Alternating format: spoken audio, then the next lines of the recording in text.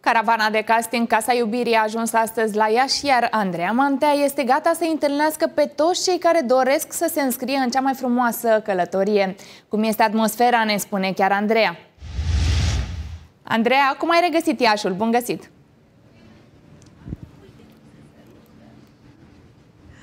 Doamne, doamne, bună ziua, Cristina, bună ziua, dragi telespectatori!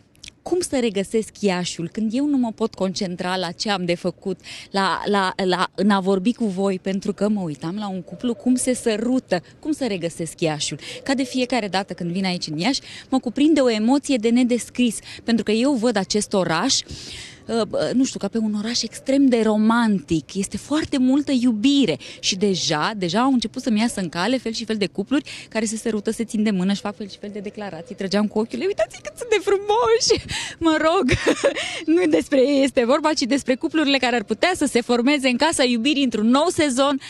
Uf, sezonul 4, dacă vă vine să credeți, suntem în Iași suntem în Iași și dacă sunteți în Iași sau pe lângă Iași și vreți să pășiți în Casa Iubirii de sezonul următor, ei bine, vă așteptăm la casting pentru că caravana Casei Iubirii se află în Iași. Și vă așteptăm la casting la Hotel Inter internațional, era să zic al hotel, iertați-mă, m-am zăpăcit. Noroc că m-a ajutat, am aici lângă mine un invitat surpriză, pentru că știți foarte bine, știți foarte bine că la Cluj uh, a fost alături de noi Mihaela, fosta câștigătoare, uh, câștigătoarea fostului sezon, iertați-mă, am emoții foarte mari, am văzut pe tinerii aceia sărut, nu se și gata, s-a, s-a rupt filmul la mine.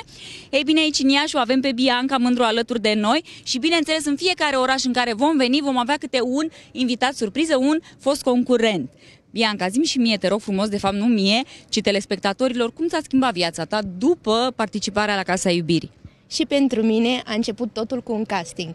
A început totul de la un casting, am fost concurentă în Casa Iubirii, iar acum fac parte din echipa Casei Iubirii. E ceva mult mai mult. Viața mea s-a schimbat total și acum fac cu adevărat ceea ce îmi doresc.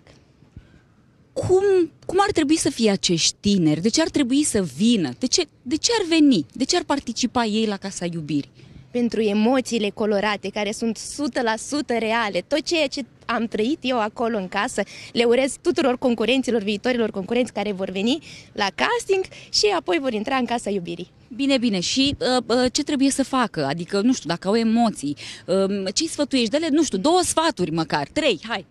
Să fie curajoși, sinceri și ambițioși. Asta e de la mine. Pe mine m-a ajutat.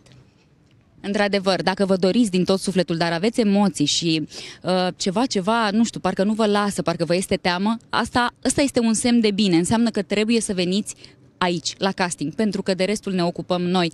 Vă doriți să participați? Veniți la casting. Și de aici preluăm noi și o să vă ajutăm să aveți parte de experiența vieții voastre. Credeți-mă pe cuvânt. Fie că vă întâlniți jumătate, fie că o să vă îndrăgostiți pentru prima dată, fie că veți ajunge să iubiți pentru prima dată, ei bine, o să vă ajute și pe voi, pentru că o să vă autodepășiți și o să vă cunoașteți limitele într-un mod în care nu ați mai făcut-o până acum.